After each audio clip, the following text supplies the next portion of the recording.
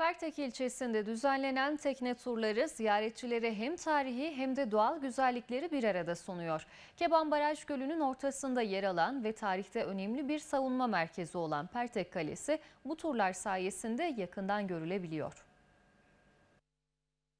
Pertek tarihi mekanları, kültürel alanları ve doğal güzellikleriyle turizme büyük katkı sağlıyor. İlçede en çok dikkati çeken yerlerin başındaysa Keban Baraj Gölü'nün turkuaz renkli sularının ortasında bulunan ada görünümlü Pertek Kalesi geliyor.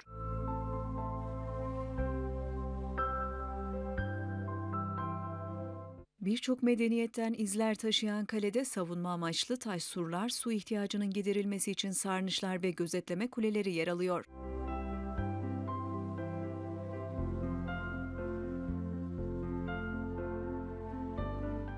Binlerce yıllık olduğu değerlendirilen kale bu yaz başından itibaren düzenlenen tekne turları sayesinde de turistlerin uğrak yeri oldu. Haftanın belirli günlerinde ilçeye gelen ziyaretçiler feribot iskelesinden tur teknesine binerek kaleye doğru yolculuk yapıyor. Bir tek tarihi, turistik, doğal zenginlikleriyle önemli bir turizm merkezi. Yine termal tesisleri var. Hem içme hem de sıcak su olarak. Ayrıca Singeç Çayı gibi gezilebilecek e, Hozat'tan başlayan burada biten vadilere sahip. Yaklaşık 5 kilometrelik rotada seyahat eden misafirler bölgedeki kuş türlerini görme ve fotoğraflarını çekme imkanı buluyor.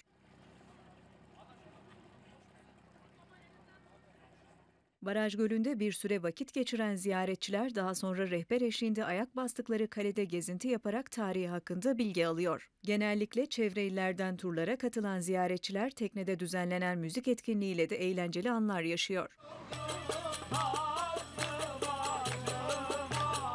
Teknenin sahibi ve kaptanı Kaan Tunç etrafı sularla çevrili Pertek Kalesi'ne ulaşımı daha da kolaylaştırmak için 50 kişilik tekneyi hizmete sunduklarını belirterek Pertek hem Elazığ hem de Tunceli kültürünü yansıttığı için teknemizde kürsübaşı programları da yapılıyor dedi. Biz de insanlar sadece uzaktan bakıp yetilmesin dedik. Bu sebeple yaklaşık iki ay önce burada eksik olan kalenin Pertek Kalesi'nin ulaşım sorunu çözmeye karar verdik. Ve bunun için de 50 kişilik olan teknemizi hizmete sunduk. Pertek hem Elazığ hem Tunceli kültürünü yansıttığı için teknemizde kürsü başı programları yapılmakta. İnşallah ilerleyen zamanlarda yatırımlarımız bu yönde devam edecek. Önümüzdeki yıl Pertek Kalesi'ndeki restoranımız da faaliyete girdikten sonra hem tekne sayımız artacak hem de turizm açımından daha da ileriye gideceğini düşünüyorum.